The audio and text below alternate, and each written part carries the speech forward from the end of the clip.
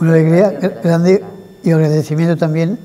por la gran colaboración que hay y que va a haber en el futuro. Y sobre todo por la joya que tenemos en Valencia, que es el Santo Cáliz, muy representativo, no simplemente para la Iglesia, sino también para la ciudad de Valencia. Desde el punto de vista histórico, desde el punto de vista también social y también desde el punto de vista cultural, con lo cual se convierte en una realidad que atrae a gente que venga aquí a Valencia, lugar de encuentro, que es también una de las características de Valencia, una ciudad de encuentro,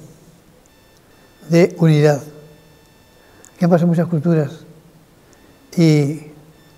el Santo Cáliz puede ser uno de los signos realmente de ese encuentro y de esa unidad y de cruce de culturas. Para nosotros es un honor esta recepción con don Antonio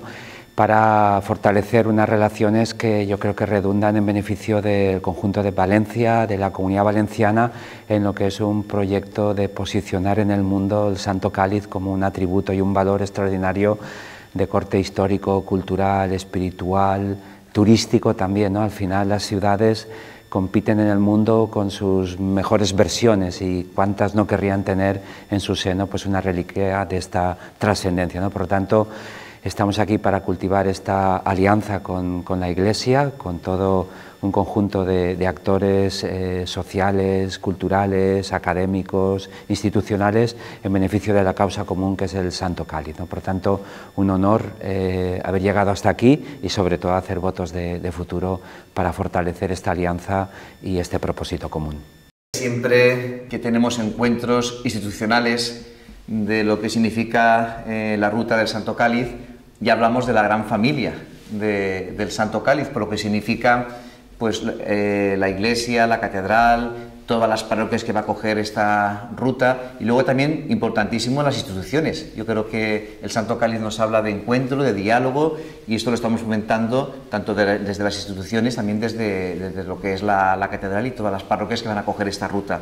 Este encuentro de hoy pues, ha sido un encuentro muy formal, muy cordial, para poder ir comentando alguna ruta también y, futuros encuentros y sobre todo desde esta cordialidad que supone el, encontrarnos en esta ruta que nos tiene que apasionar a todos, como bien decimos, en este santo cáliz de la pasión. Esta ruta tampoco conoce de, distancias ni de barreras, ¿eh? coge Valencia, coge provincia de Castellón y coge también a los hermanos de Aragón, con lo cual supone un gran encuentro que poco a poco tenemos que ir eh, pues, eh, fijando fechas y eventos, viviendo este 2021 como estamos viviéndolo, gracias a Dios saliendo de la pandemia, pero pensando que la ruta pues, va a continuar avanzando y va a coger cada vez más auge. Yo creo que desde todas las instituciones estamos intentando fomentar este auge y esta capacidad de acogida, porque en la medida que hayan peregrinos que hagan la ruta, pues tendremos que tener capacidad para acogerlos.